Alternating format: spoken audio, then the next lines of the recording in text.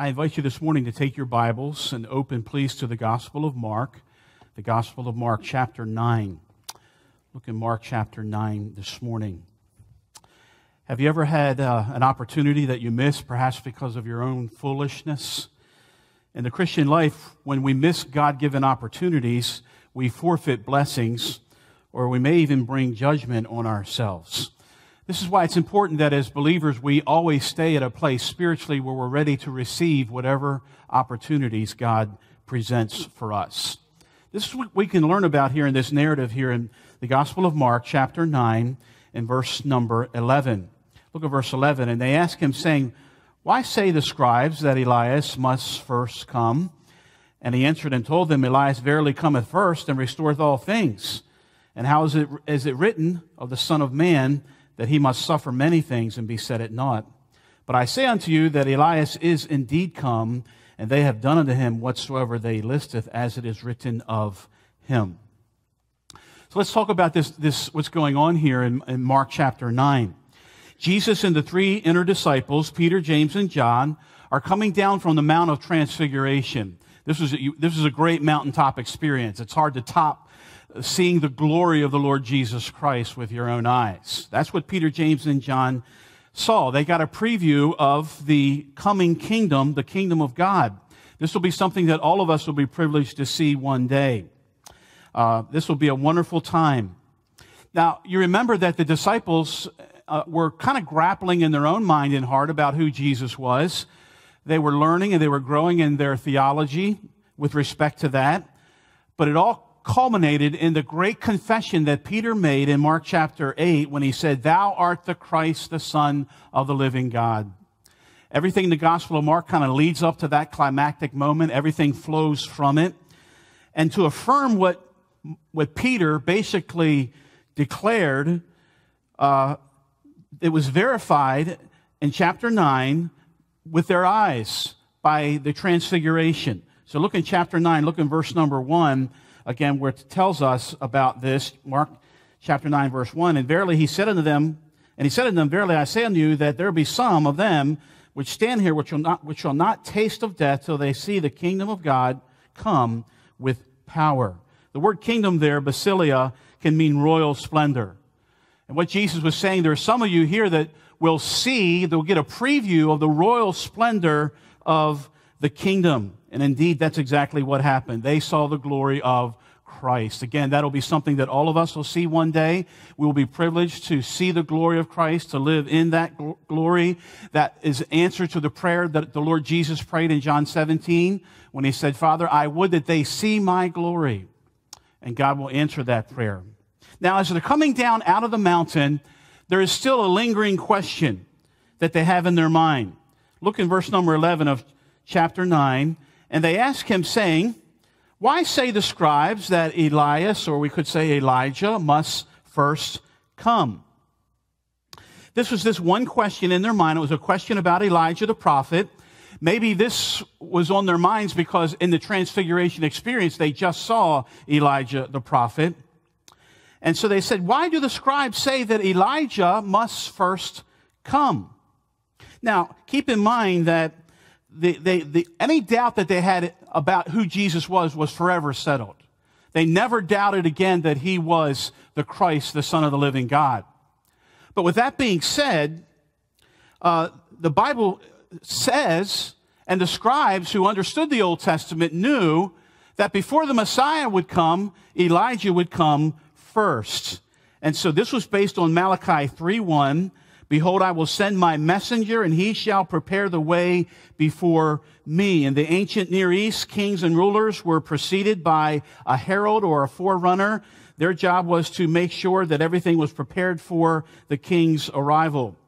Isaiah also described the, the, work of the forerunner in Isaiah 40 verses 3 and 4. The voice of him that cries in the wilderness, prepare ye the way of the Lord, make straight in the desert a highway for our God. Every valley shall be exalted, and every mountain and hill shall be made low, and the crooked shall be made straight, and the rough places plain. So before the Messiah's arrival, there would be a messenger who would prepare the way of the Messiah. And then the Old Testament further describes who this messenger would be. Malachi 4 5. Behold, I will send you Elijah the prophet before the coming of the great and dreadful day of the Lord. So before the Messiah would come, Elijah would come and he would restore the nation by calling people to repentance. He would bring the people together. He would be the restorer. Now, this was very popular Jewish belief based on Old Testament scriptures. And in fact, they embellished this whole prophecy, the Jews did. They didn't just say Elijah had to come first. They believed he would be the great reformer who would bring holiness out of unholiness. He would bring order out of chaos. They believed that he would destroy all evil. He would make everything right so that when the Messiah came, all he had to do was to take control of what Elijah had prepared for him. So they saw Elijah as the true restorer. Now, the disciples were absolutely convinced that Jesus was the Messiah. But that being the case, where was Elijah then? If Jesus was the Messiah, where was Elijah? Was he not present? Why was he not performing all the duties that was prescribed for him in the Old Testament? Now, this was a question that no doubt was posed to the disciples by people on many occasions. If your master is the Messiah, like he claims, where is Elijah? What about that? And so this was an answer that the disciples could not give because they were unclear. They were unsure about all of this. And so when they're coming down now from the Mount of Transfiguration, it is assured in their heart that Jesus is the Son of the living God. And so they ask this question, Lord, why then do the scribes say that, the, that Elijah has to come first? Are they getting that right? Did we miss Elijah? How does all this work together? And then I want you to notice Jesus' answer to them because this is a, really, he makes two things clear, a very clear answer. Verse 12, and he answered and said unto them, Elias verily cometh first and restoreth all things. And then drop down to verse 13, but I say unto you that Elijah is indeed come. In other words, Jesus said, the scribes are right. Elijah is indeed supposed to come before the Messiah and make things ready. Uh, but he goes on to say, Elijah did come, and many people missed him. He was here. Now, this Old Testament prophecy was not talking about a reincarnation of Elijah or that the literal Elijah was the person who was going to come, but that someone would come and minister in the spirit and power of Elijah. Luke in his gospel kind of gives us the inspired quote of Malachi's prophecy. Listen to what Luke said in Luke 1:17, and he shall go before him in the spirit and power of Elijah to turn the hearts of the fathers to the children and the disobedient to wisdom of the just and to make ready a people prepared for the Lord. Here is Luke quoting directly from Malachi, and in this inspired quote, he adds that he will come in the spirit and power of Elijah. So this would be an Elijah like person, not the literal Elijah, but someone who was cut out of the same mold as that Old Testament figure, Elijah. Now, who do you think would fit that description? John the Baptist, right? Now, again, this can be somewhat confusing because in John chapter 1, verse 21, the Jewish leaders came to John the Baptist and they asked him the question directly Are you Elijah? And you remember his response. He said, I am not. Now, he was right. He was not Elijah. He was not literally Elijah. But he was the one prophesied about in the Old Testament that would come and prepare the way for the Lord. Because further on, the Jewish leader said, Then who are you? If you're not Elijah, who are you? And this is what he said. He said, I am the voice of one crying in the wilderness, make straight the way of the Lord, as, pro- as, as said by the prophet Isaiah. And so he's basically, John's saying, look, I'm not the literal Elijah, but I am that one prophesied about in the Old Testament, the messenger who was to prepare the way for the Lord. He, he, he was saying, I am the one that is come in the spirit and power of Elijah. Now, these religious leaders, they were unable to connect the dots. They just couldn't see it. And neither could the majority of the Jewish people there. They did not see that John the Baptist was indeed the fulfillment of that Old Testament prophecy about the coming of Elijah. He was that Elijah that was to come before the Messiah. And by the way, if you compare the two, if you look at Elijah in the Old Testament and you compare John the Baptist, you can see that they are cut out of the same mold. For example, um, the Bible says in 2 Kings 1 that Elijah wore a girdle of leather. In Mark chapter 1 verse 16, John was clothed with camel's hair and with a girdle of leather also. Both men were uncompromising in their preaching. Both men were persecuted by women. Elijah was threatened by Jezebel. John the Baptist was put in prison and later beheaded by Herodias, the wife of Herod. Both preached at a time when there was spiritual blindness and hardness of heart. Elijah did come, but he came in the form of John the Baptist. So for those who believe that Jesus was the Messiah, John the Baptist was indeed that Elijah figure that was prophesied. And this is what Jesus tells them. But he also tells them a second thing. He makes another point clear. Look again in verse 13. But I say unto you that Elijah is indeed come, and they have done unto him whatsoever they listeth, as it is written of him. Elijah was rejected by the people. Notice what it says they did to him whatever they wanted. And notice that expression, as it is written of him. This is a comparison that Jesus makes between the two. In other words, what he was saying was what was intended for Elijah in the Old Testament was fulfilled by John in the New Testament. What was intended for Elijah in the Old Testament? What did they want to do to him? They wanted to kill him. That's what they wanted to do. If, and Ahab and, and Jezebel, Jezebel especially made the threat, I'm going to kill you. But you know what? She could never get her hands on him. And later he was translated into heaven by a chariot of fire. So even though they wanted to kill him, they couldn't kill him. However, in the New Testament, John the Baptist, he fulfilled that. What was written about Elijah was fulfilled by John because Herod and Herodias did get their hands on John the Baptist. And what did they do? They threw him in a prison. And then later he was beheaded. He was killed. And so there's a sense then in which the pattern is clear. Elijah was rejected and persecuted. The Messiah's forerunner will be rejected. The one that would come in the spirit and power of Elijah will be rejected and he will be killed. Although they couldn't kill Elijah, they will kill him. And the Messiah himself will be rejected and will be murdered. And so the kingdom, in a sense, will be postponed. And then later there'll be another Elijah-like figure. And so John the Baptist really is a, a fulfillment of the Old Testament um, person of Elijah in the sense that he came in the spirit and power, and he's a preview of the second coming when another Elijah like figure will come before the return of the Lord. And so the religious leaders and the people could not see nor understand that John the Baptist was that Elijah.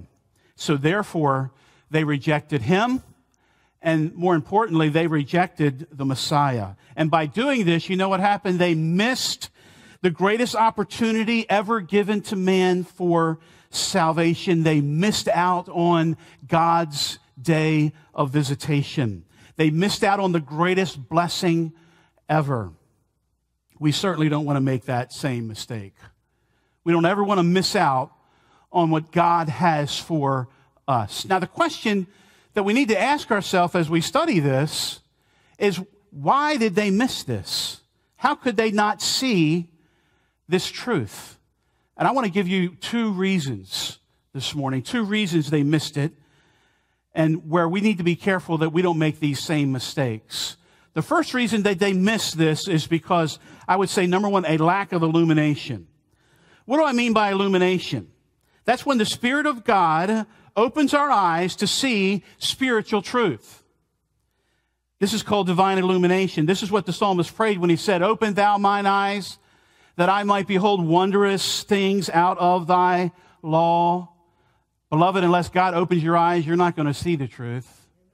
God has to be the one who opens your eyes. This is what Paul meant when he wrote in 1 Corinthians 2 9. But as it is written, eye has not seen, neither ear heard, neither has entered into the heart of men the things which God has prepared for those that love him. Now, when we quote that verse, we normally quote that in reference to heaven. And that's okay. However, I would remind you that that's not the context of this verse here. When this verse is being used here, is what it's talking about is we're not able to understand spiritual truth, even though we might see things with our eyes and hear with our ears. If we use the normal ways of learning, if we use logic and observation and the five senses, the empirical ways of how we learn, how we get knowledge, if that's all we have, then we're not going to ever really understand spiritual truth. You have to have a sixth sense. There has to be something else. You need something more than just being able to read it or hear it.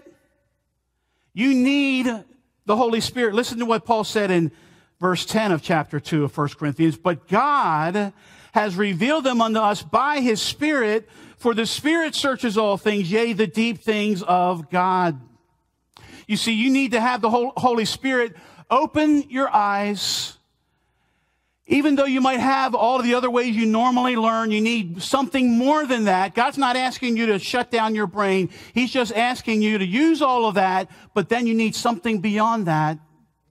Reminds me of the preacher who was very nervous his first uh, time to open in prayer, and he prayed and he meant to say, Lord, illuminate our minds. Instead, he said, Lord, eliminate our minds. God doesn't want us to eliminate our minds. We need to use our minds. We need to use all the normal ways we learn things, but we need something more than that. We need something extra if we're going to understand spiritual truth. And what do we need? We need the Holy Spirit to reveal these things to us. And that's what the Holy Spirit does. He reveals to us the deep things of God. I, I like to use the illustration, you know, no one knows me better than my wife, Carolyn, I know myself better than she knows me. Why? Because the Bible says the spirit of man knows that man. If I could take my spirit out of me and put it in her, she would know me even better. She would know the deep things of Jerry Harmon. That's not possible for me to do that. However, did you know that God is able to do that for you? God is, when you get saved, He gives you His Spirit. Why? So that you can know the deep things of God, so that you can understand spiritual truth. And if all you have is empirical ways of learning, observation, logic, and all that, you're not going to understand, spiritual truth. You might be very smart. You might be a very high IQ, but if you don't have the Holy Spirit, you're not going to get it. I remember when I was down at Johns Hopkins taking a PhD seminar and reading biblical Hebrew, we would sit around and read Hebrew out of the Old Testament, and then we would give an interpretation and then a translation. And we were reading some of the great messianic passages in the book of Isaiah. And all the students in that doctoral seminar, they were from elite universities, very, very smart, very high IQs, much smarter than me. But when we got to some of those passages in Isaiah, it was my turn to read. I would read, I would, I would translate, I would give an interpretation. I would always give a Christological interpretation. I would always see Christ in that passage. And you know what they would say? I, I don't see that. I don't see that. You know why they couldn't see it? Because although they were very smart, they didn't have the Holy Spirit revealing it. I'm not smarter than them. But you know what? I do have the blessing of having the Holy Spirit of God in me, opening my eyes to see spiritual truth. And I've met people that didn't have a big education that were spiritually taught. They knew more of spiritual truth than many people I have ever met. I know, have no, met people that have a PhD after their name and they're spiritually ignorant about the things of God because you have to learn by the Holy Spirit. Now, these scribes, they had the Old Testament. They had the prophecies in Malachi and Isaiah. They knew about the coming of Elijah. But what they did not have is they did not have divine illumination. They did not have the Holy Spirit opening their eyes. And so therefore they could not see who John the Baptist really was. They could not see who Jesus really was. Because, beloved, if you're going to see it, you have to depend upon the Holy Spirit. Now, if you leave a service today and say, Well, I didn't get anything out of that service, well, my friend, you have to ask the Holy Spirit to open your eyes. I can't do that. I don't have the power to do that. I make truth as clear as I possibly can, but you must constantly pray the prayer of the psalmist Lord, open thou my eyes. Help me to see.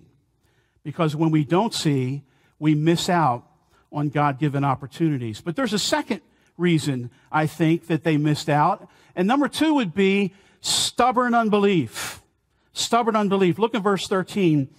But I say unto you that Elijah is indeed come, and they have done unto him whatever they listed or whatever they wanted, they did to him. That is, their hearts were hardened with unbelief, and therefore they did to John the Baptist whatever they wanted. They killed him. That's what they wanted to do. They did not accept John's ministry. Had they received John, he would have served as the Elijah that God sent, and they would have received Jesus as the Messiah. Instead, they rejected both. In their stubborn defiance and unbelief, they rejected the forerunner, they rejected the king, and it was a stubborn refusal to receive him. Really, was a matter of the heart. It was a pushing away. This is Romans 1, where it says, we hold the truth in unrighteousness. That's what mankind does. The Greek word for hold means to hold back. You're pushing truth away. You're not holding it, you're pushing it away. And that's what people do all the time with spiritual truth. They are pushing it away. Why? Because that's the heart of depraved man. Many who persist in their stubborn unbelief or pushing truth away. They're looking for reasons not to believe.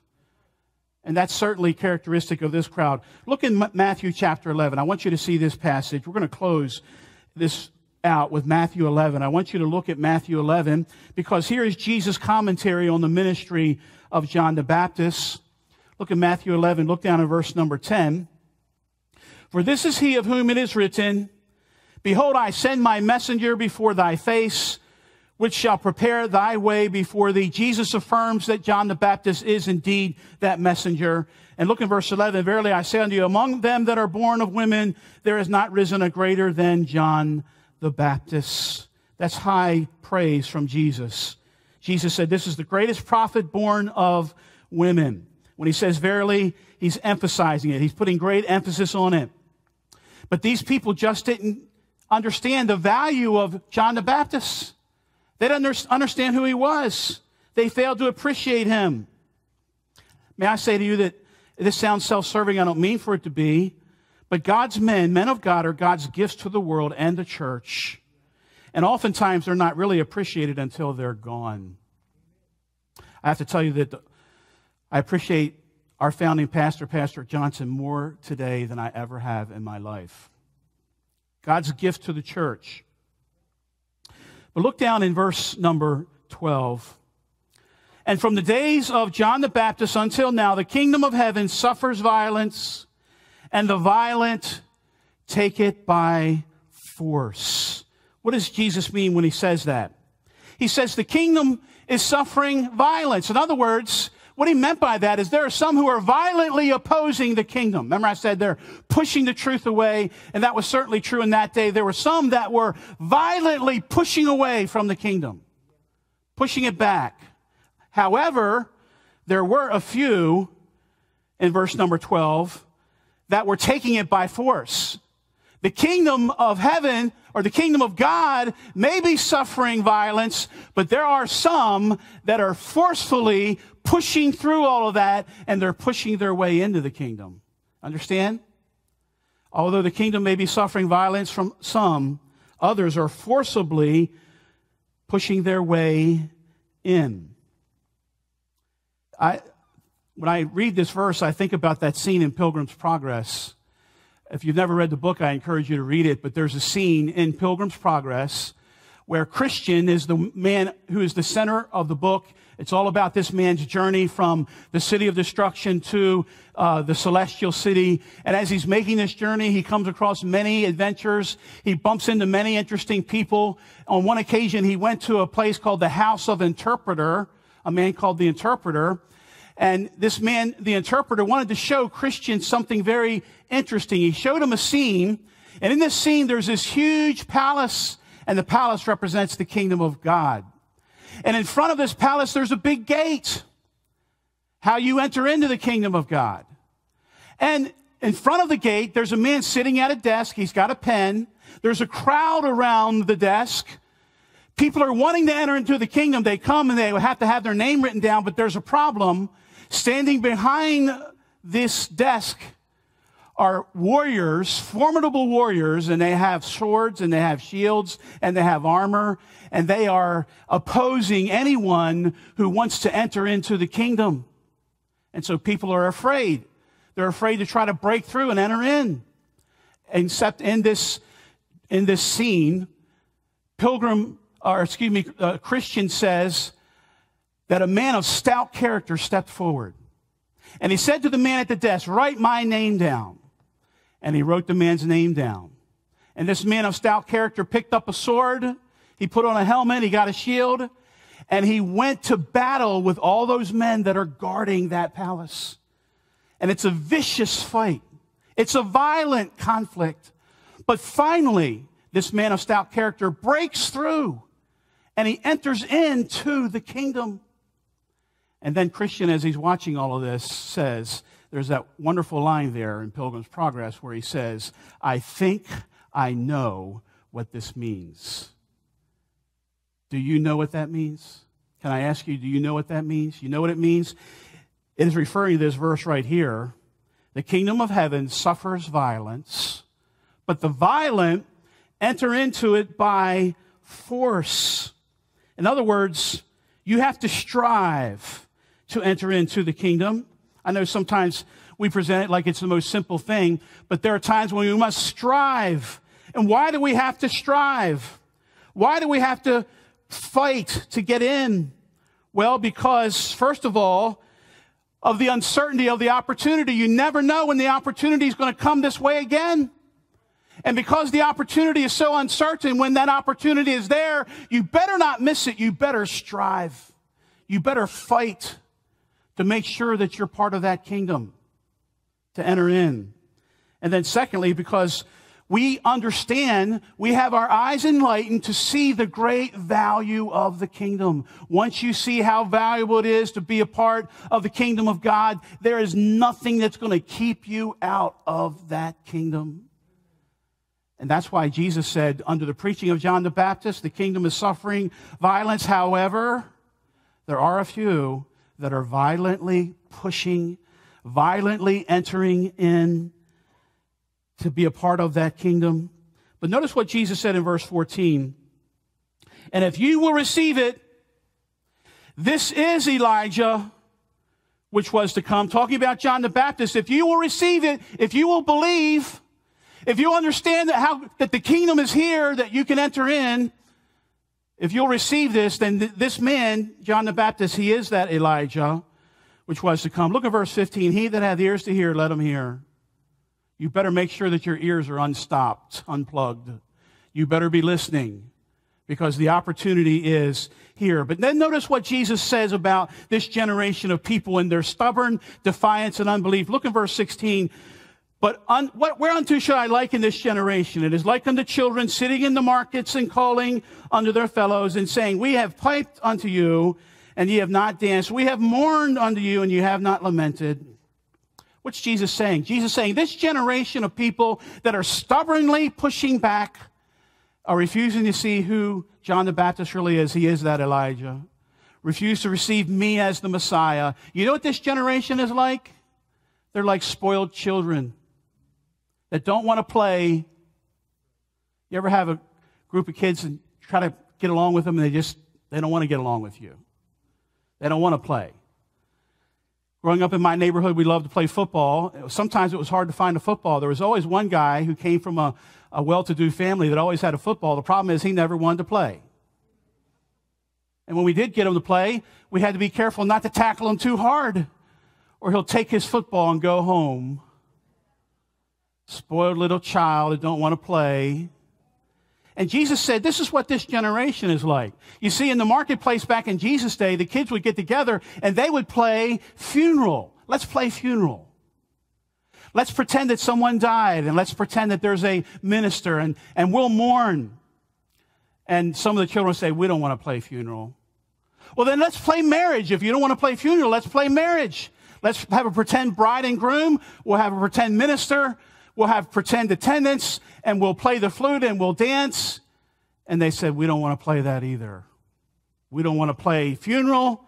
We don't want to play marriage. And this is what Jesus is saying about this generation. Look at verse 18. For John came neither eating nor drinking, and they said he hath the devil. He's kind of comparing John's ministry to the more austere, solemn funeral type uh, attitude. He was calling upon people to repent of their sin, turn from their sin, get their hearts ready. The Messiah was coming. How did the people respond? They said, Oh, he has a devil. And then Jesus came. His ministry was more like a marriage, like a wedding. He was the bridegroom. And it was time for them to celebrate the coming of the groom. But what did they say of Jesus? He came eating and drinking. Behold, a man gluttonous and a winebibber, friend of publicans and sinners. They couldn't seem to be satisfied. They couldn't seem to want to play.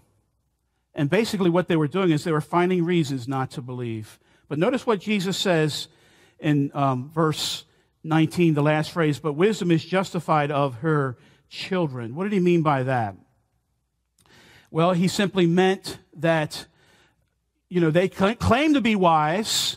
They claim to be wise in rejecting Jesus and John, but their actions, wisdom is justified by her children. Their actions show how wise you really are. And their actions revealed that they were not wise at all. Their wisdom was a corrupt wisdom. Nothing can satisfy them. They failed to see the dangerous spiritual condition they were in. They leveled false accusations against Jesus and John the Baptist. These people were religious, but they were not redeemed. They were not saved. And so, what does Jesus do in response to that? In verses 20 down to verse 22, Jesus pronounces woe. Look at verse 20. Then began he to upbraid the cities wherein most of these mighty works were done because they repented not. Woe unto thee, Chorazin! Woe unto thee, Bethsaida, for if the mighty works which were done in you had been done in Tyre and Sidon, they would have repented long ago in sackcloth and ashes. Jesus pronounces woe against these villages, these cities who saw the ministry of Jesus and heard him preach along with John the Baptist, and yet they would not believe. In their stubborn unbelief, they pushed it all away, and Jesus said, Woe unto you! Woe unto you! You missed an opportunity when I was in Israel, I had the opportunity to visit one of these villages, Chorazin, that Jesus pronounced the woe to. You can go over there and see it today. It's this little village on a high hill, right overlooking the Sea of Galilee, nestled right there in the hill. A beautiful view. You can look down and see the Sea of Galilee from there. But when you walk into that village, it's very eerie. You know why? Because it's, it's just completely black with basalt stone. It kind of looks like it has the curse of God on it, if you ask me. Empty ruins, empty buildings, nothing there. And it just feels as if it was abandoned, that the curse of God was on it. This was one of the villages that Jesus pronounced woe upon because they refused to believe, even though they were privileged to have some of the greatest miracles done in their midst they refused to believe. They missed God's opportunity. And if the buildings in that little village could talk, you know what they would probably say? Elijah was here and you missed him. Jesus was here, but you missed out. You missed out on the day of God's visitation. Don't be like those who miss a God given opportunity when it is before you. Let's bow for prayer together today.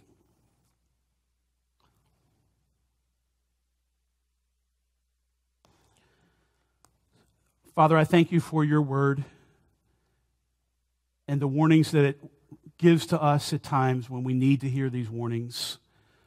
We love to come to, to church and be encouraged. We love to come and be comforted. We love to come and be blessed. But there are times, Lord, when we need to be warned.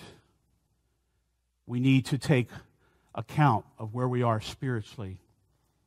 And Lord, when you gave us your word, you gave us passages of Scripture that serve to cause us to examine our own heart and to warn us not to make the mistakes that others have made in the past. In the past, many have had God given opportunities, privileges presented before them that they either could not see because they were not dependent upon the Holy Spirit to open their eyes, or they just pushed away out of stubbornness and didn't want to receive it. I pray, Father, that that would not be the case for anyone under the sound of my voice. That all who hear of the blessing of the kingdom, of the exceeding value of the kingdom, will desire to enter it by force, will strive until they are at peace in their own heart that Christ is theirs, that they are a part of the kingdom. May they not rest until they know that they're safely in the kingdom of God. May we not miss God given opportunities. With heads bowed and eyes closed, can I just ask you to, would you just take a moment and do some spiritual inventory in your own heart, in your own life? Would you just see whether you are in the kingdom? Are you safely in? Have you been, are you willing to strive to make sure you're part of that kingdom? Has God opened your eyes to see the incredible value of the kingdom of God, of Christ? And will you respond to that? Will you make sure of your own soul salvation? And maybe there's someone that God has put on your heart. You need to pray for them, for God to open their eyes so they can see the beauty of Christ and they will come. You need to pray for divine illumination for those around you that don't know Him.